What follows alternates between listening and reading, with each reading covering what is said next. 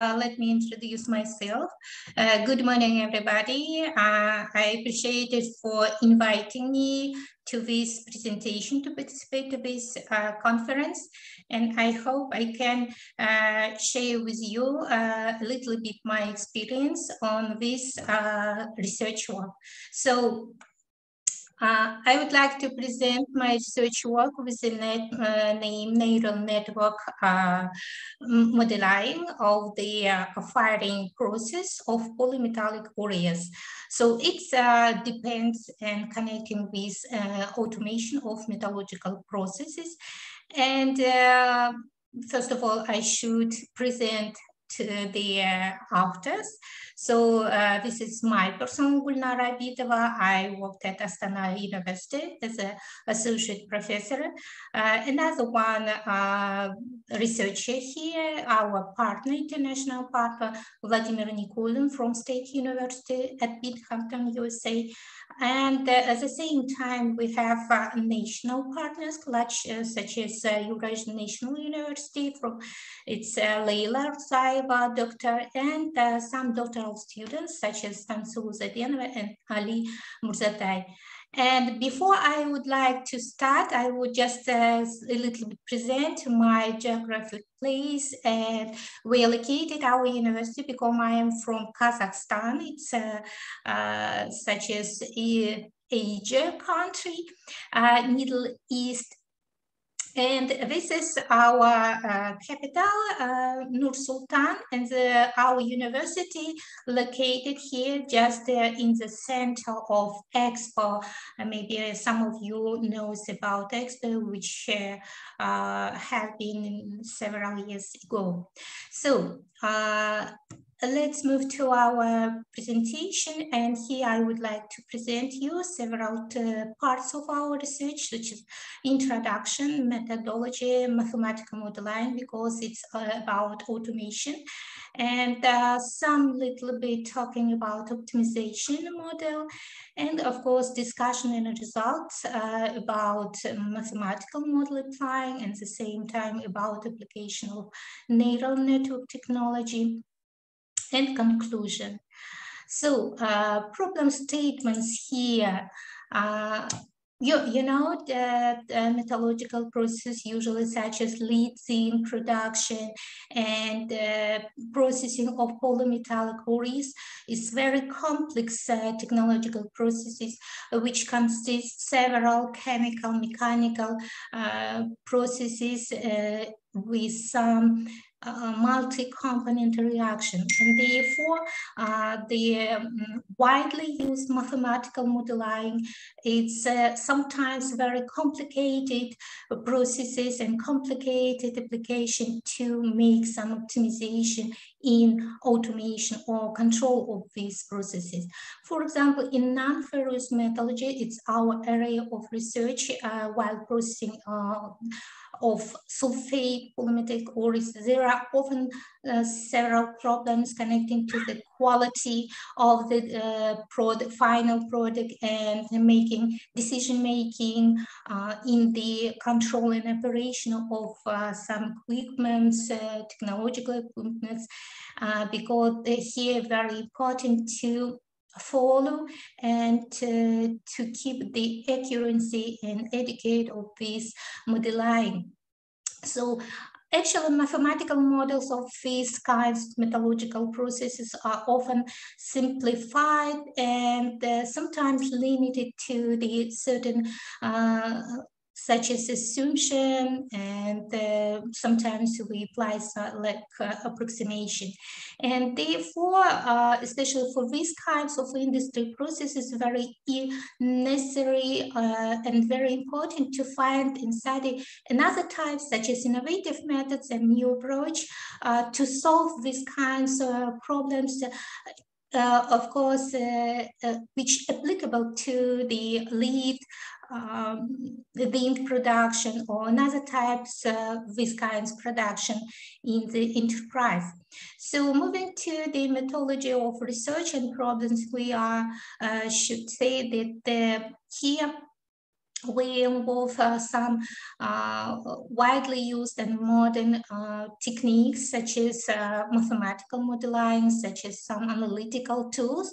But at the same time, we propose in uh, our work to apply uh, with mathematical modeling at the same time some neural network techniques and technology because here we should be sure that our all calculation and all getting and obtain results are very accurately and adequate.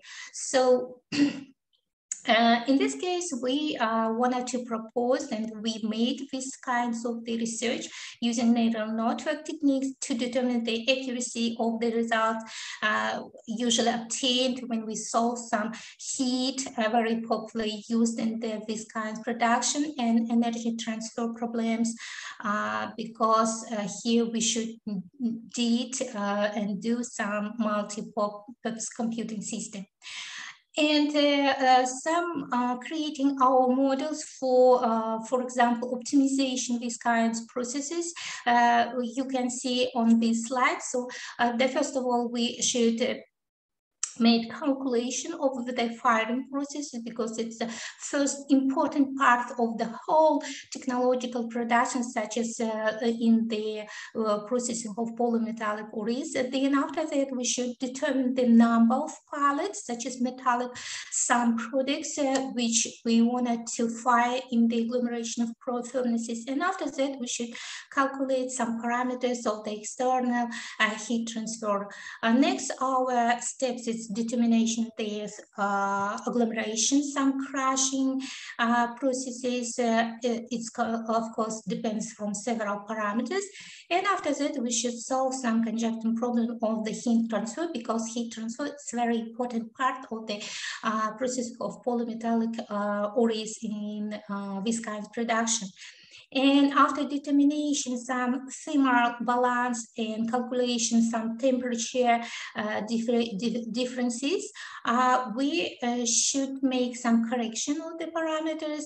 And after that, we should uh, determine finally uh, the uh, some cost of the production, such as production cost, because we know that finally the the important parameters uh, which we should control and uh, optimize. It's uh, of course some economic parameters such as uh, production cost. So sorry. For designing uh, these kinds of the optimization models, uh, it is need to choose some, uh, of course, objective function. Uh, like I said, for, for example, controlling some economic parameters. And uh, here we can see uh, some universal such as economic parameters, maybe it's much suitable for industry production. It, of course, uh, the production cost uh, here presenting. And um, this production cost usually consists several uh, types of the parameters such as set for the whole year and mainly they uh, consist several types of the and other types of the cost such as cost of the uh, maintenance cost of the uh, repair works and so on. Uh, so the, for example, here you can see cost of the maintaining and operating equipment related to the some variable cost. Uh, uh, you can find, you can see on the equation number two, and using this equation, we can find uh, these types of the cost. And finally, the third cost, uh, uh, our optimization parameters for these types of the production uh, we can uh, determine by using equation number T3 because uh, uh, the uh, here uh, we can find some the production cost of the several types of the manufacture and after that we can uh, here the same time to use some cost of the maintenance and operating equipment. So optimization parameters here while selecting the uh, operating mode of the equation for agglomeration firing force, it's kinds of the minimum of production self force. So this is our uh, kinds of the goal to get this minimum. And parameters of operating mode here usually taking such as some variable uh, parameters in the model.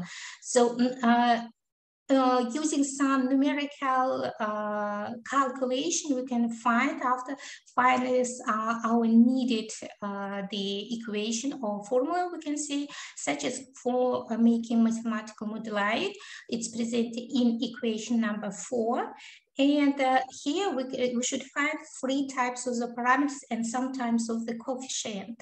So here when during our research work, we uh, tried to find some uh, parameters and to uh, determine some constraints. Uh, using these types, uh, here we have eight constraints to making and solving our optimization problem.